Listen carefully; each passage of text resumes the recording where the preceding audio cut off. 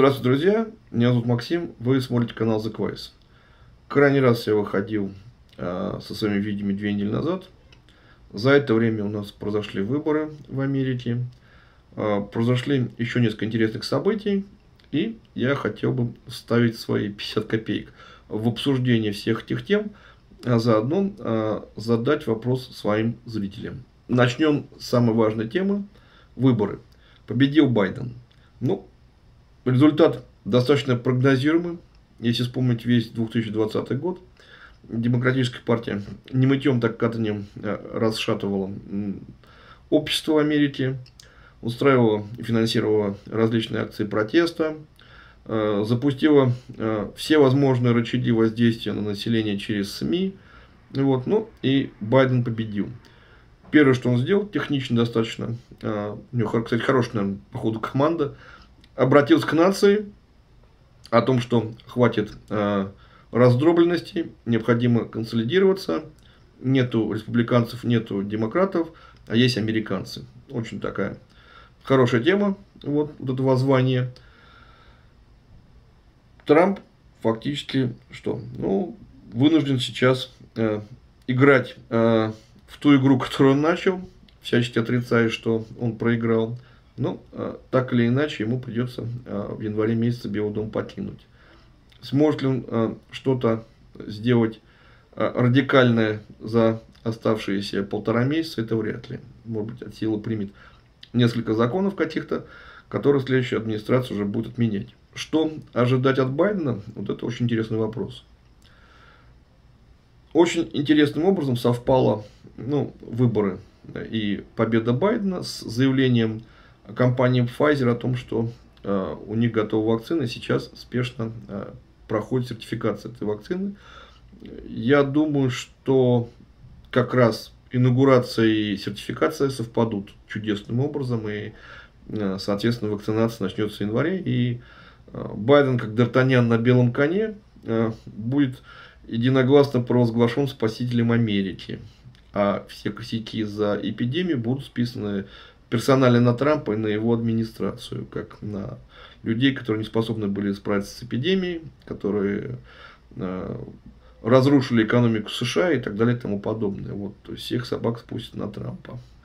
Вот тут э, очень интересный вопрос возникает. Э, я просто вкратце расскажу. Положение текущее в Америке реальное. А, соответственно, потом еще послушаю ваши комментарии. Ну, вернее, почитаю ваши комментарии. У нас сейчас э, все достаточно плохо стало. То есть с июля месяца, я обратил внимание, у людей, у которых э, был доход в пределах э, 2,5-3 тысяч долларов, у них денег не стало. То есть, видимо, прекратились вот эти выплаты пособий, помощи и так далее, и у людей фактически денег не стало. Вот. Народ сейчас денежки экономит. В чем это выражается? Я вот, например, наблюдал как раньше люди тарились в магазинах, там эти леди были просто вот сверхом просто вот. Сейчас люди очень по-скромненькому даже продукты питания берут, ну то есть берут самое необходимое, но уже без таких вот американских излишеств. Не вижу я особого ажиотажа э, по поводу э, сезонных распродаж в ноябре, этих всех черных пятниц и так далее. И я еще обратил внимание, что очень многие позиции стали исчезать из магазинов. Вот. Ну, это понятное дело, то есть Трамп устроил войну с Китаем, э, поставки ухудшились, цены на некоторые виды товаров тоже, соответственно, начали расти. Не могло это не ударить по э, ритейловым сетям. Но исчезают инструменты какие-то, исчезают какие-то расходные материалы, то есть начал образовываться дефицит. Вот.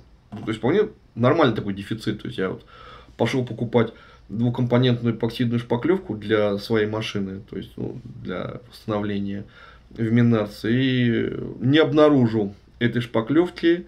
Мне сказали, что вот остатки ее есть там в двух магазинах, куда достаточно не близко ехать. Отдел, э, который там э, занимается помощью покупателям, сказали, что у них нет данных о э, ближайших поставок вот этой позиции. Ну и так с людьми пообщался тоже. Вот, люди сталкиваются с тем, что какие-то позиции э, стали исчезать. То есть дефицит начал образовываться. Вот.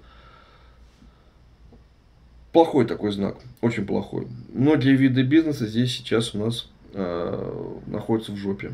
Вот. Кто на плаву, ну, я знаю, сто процентов тракеры на плаву, то есть люди, кто занимается грузоперевозками, у них пока сейчас все нормально. А, логистика работает, контракты подписаны, товар нужно возить. Хоть у тебя большой грузовик, хоть маленький, то есть э, доставка грузов и товаров пока еще живет. Неожиданно оказалось, что у людей, кто занимается ремонтом и стройкой, тоже все нормально. То есть тоже невзирая на э, вирус и на кризис – определенный класс людей, у которых есть деньги в США, срочно стали эти деньги вкладывать в недвижку и в покупку земли. Поэтому цены на недвижку и на землю не упали, а наоборот чуть-чуть поднялись. Общался с риэлторами. Если хорошее предложение по домам, оно буквально вот дом выставляется на продажу один-два дня максимум, дом покупается. То есть люди вкладывают деньги в недвижимость, опасаясь э, девальвации доллара. И, соответственно, купив дом, сразу же там начинают ремонтные работы. Пока, видимо, есть возможность, пока люди, видимо, считают свои деньги, пока деньги еще имеют покупательную способность. То есть сразу же это вот идет ремонт, реновейшн и все прочее. То есть строительный бизнес сейчас э, цветет и пахнет, все нормально у ребят, кто стройкой занимается. То есть вот, вот эти две позиции я сейчас вижу, то есть кто два, два вида бизнеса они в Америке сейчас работают. Вот. Конкретно в нашем штате нет такого жесткого карантина. Не знаю, как в других штатах, но, опять же, я не вижу вот э, столпотворения э, в различного рода салонах, которые предлагают э, услуги, сервис, то есть народ стал поприжимистей, нет свободных денег на всякую блажь. И я думаю, что и в 2021 году народ тоже самое будет денежки экономить. То есть основная сейчас ценность для американца это а, наличные бабки. Вот. Еще общался э, с людьми, которые предлагают паралигарские услуги, ну, как бы около юридические. И очень востребовано оказалось оформление банкротств. То есть народ сейчас оформляет банкротство сплошь и рядом. Это очень востребованная услуга. И люди банкротятся, причем даже с небольшим количеством долгов. Вот, э, сказали мне, что приходят люди, которые хотят начать процедуру банкротства, у которых там задолженность порядка там 5-6 тысяч долларов, и уже люди готовы на это банкротство подать. То есть вот даже так. Вот даже так. Встречный вопрос к моей аудитории. Я знаю, что меня много людей смотрят из регионов. Я, к сожалению, давно в России не живу, но так общаюсь со своими знакомыми. А, но у меня круг моих знакомых в основном живет в Москве, там, не знаю, в Санкт-Петербурге. Там, как бы, понятное дело, до последнего эти два города будут держаться. Вот. А, ну, мои знакомые обратили внимание, что вот в Москву очень много нахлынуло людей с регионов, кто пытается хоть как-то заработать там таксованием, еще чем-то, то есть вот каким-то образом хоть что-то заработать. Видимо, в регионе с деньгами совсем плохо. Поэтому хочу задать вопрос своим зрителям, что у вас в городе происходит вообще э, с работой конкретно сейчас, с деньгами, со сбережениями, какая вообще ситуация, насколько все плохо. И какие у вас ожидания на ближайшие месяцы этого года и на следующий год. Вот. Какие ожидания здесь в США, я могу сказать. Э, начало года 2020 Трамп раздал всем вертолетные деньги. И подписал несколько хороших законов, достаточно неплохих, о том, что если у вас э, есть задолженности по оплате а, жилья, с вас не могут эти задолженности требовать и не могут вас выселить. В принципе, это позитивно. Вот. Вопрос, что будет происходить, когда эпидемия официально будет признана законченной, каким образом тогда будут работать банки, коллекторы, и как эти задолженности будут взыскиваться, и как вообще будут не списываться, не списываться, есть что будет происходить. Это очень интересный вопрос. И вот эти вертолетные деньги, это, естественно, просто включили печатный станок и напечатали этих вот лишних бумажек, ожидая, что народ э, будет их тратить. Да, до июня месяца народ эти деньги тратил. Куча примеров общался с американцами, которым выгодно было сидеть дома – и получать пособие и не работать. Для них это было выгодно. Сейчас, видимо, пособие прекратили платить, и у людей денежки закончились. Вот. Будет ли Байден раздавать деньги? Очень большой вопрос. Но что в Америке? У нас конец года, начало январь-февраль, люди подают налоговую декларацию, и, соответственно, э, очень изрядная часть населения просто ждет возврат налогов. То есть, очень много людей, которые не платят налоги э, дяде Сэму, а наоборот получают деньги назад. Если у вас ваши расходы превышают ваши доходы, то вы назад можете получить там чек на 4-5, кто-то даже 6 тысяч долларов ухитряется получать назад. И таких людей все больше и больше. Вот, то есть у людей отрицательный доход. Наверное, значит, люди будут рассчитывать на эти деньги. Будут ли какие-то дотации, я сомневаюсь, что Байден будет раздавать деньги налево-направо. Но э, какой-то перезапуск экономики все-таки э, его администрация попробует предпринять. Потому что если этого не сделать, то э, очень плохая будет ситуация э, вообще для всех. И даже если будет сделана вакцинация и попытается перезапустить бизнес, я не думаю, что народ кинется э, тратить свои деньги э, в сферу э, обслуживания и побежит в магазин скупать э, вещи, которые по большому счету сейчас не нужны. Вот. То есть весь следующий год, скорее всего, народ перейдет в режим э, такой экономии, такой серьезной экономии уже не будет вот такой вот, как раньше, ажиотаж следовать моде, покупать новую модель телефона, покупать, э, менять машину по трейд-ину и так далее. То есть я думаю, что на ближайший год как минимум в Америке это будет режим э, экономии, для кого-то даже режим жесткой экономии. Вот. Все по чесноку рассказываю. То есть я думаю, ну, предполагаю, что если у нас такая ситуация непростая в стране, то в России и в других странах ситуация гораздо хуже. Гораздо хуже. И я не думаю, что вот в этом контексте, почему подвожу сейчас как раз э, к вопросу вот о, о обещаниях Байдена, да, с, к примеру, с Китаем он может помириться, потому что Америке нужны дешевые китайские товары, и придется как-то вот включить заднюю скорость и расшаркиваясь как-то вот э, вроде бы не хочется извиняться перед Китаем, но с другой стороны нужно найти какое-то вот э, паритетное решение, чтобы всем это было нормально. То есть, э, а вот с Россией, да, то есть на публике он продекларировал, что он ненавидит Россию так, что аж кушать не может, такую неприязнь испытывает. Да, он собирается э, сделать послабление в, э, в миграционных э, законах, кстати говоря, Трамп сейчас фактически полностью иммиграцию прекратил, полностью дестабилизировал работу USCIS, этот орган, который занимается решением миграционных кейсов и так далее, уволил сотрудников, уменьшил финансирование, то есть работа службы полностью парализована, опять же, э, Россия и Америка обменялись э, взаимными консульскими ударами, позакрывали консульство, прекратили выдачу виз, то есть патовая ситуация. И ухудшение ее никому не даст пользы ни Америке, ни России вообще, если это и сохранится. То есть, возможно, будет какое-то послабление. Вполне вероятно, что, может быть, консульство заработает в прежнем режиме.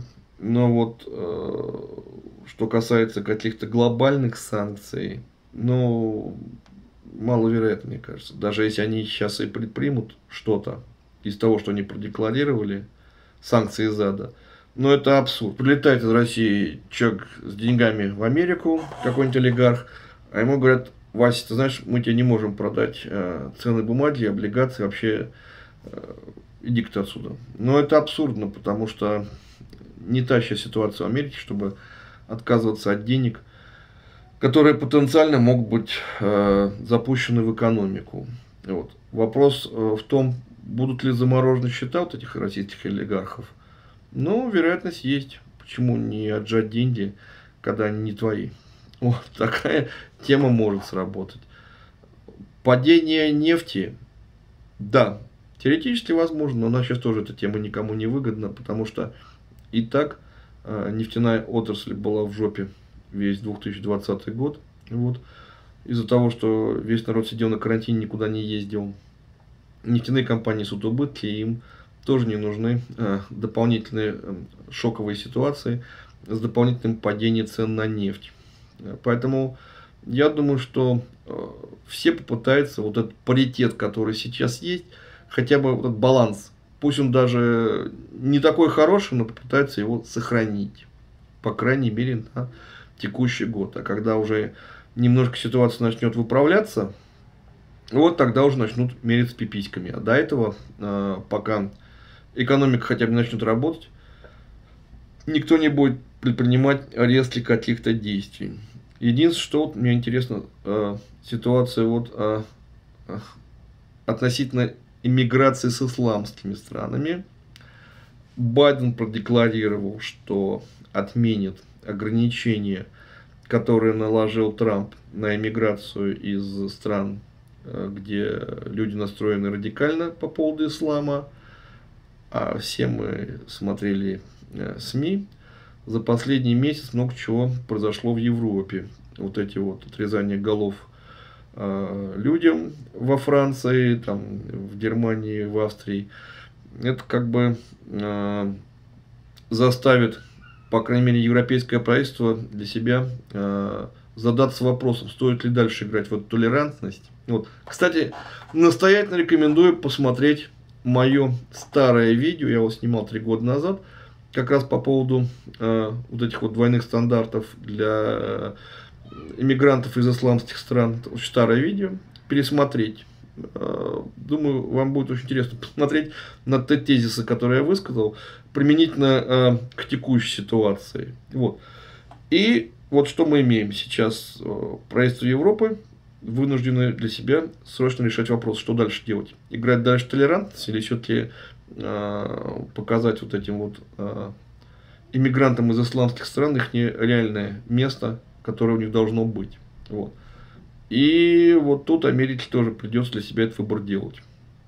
Потому что если э, сделать вид, что ничего не было, это может э, вылиться в такие же точно проблемы в США. А тут толерантность, она как бы до, доходит до определенного момента. То есть, если, грубо говоря, начнут бошки здесь резать, вот, тут э, придется на уж поднимать э, сват, спецназ и э, решать э, дело по жесткому достаточно. Вот. Тут э, толерантность не будут играть вот до такого момента. Вот. И придется, то есть, Байдену этот вопрос для себя решить. То есть, что он хочет.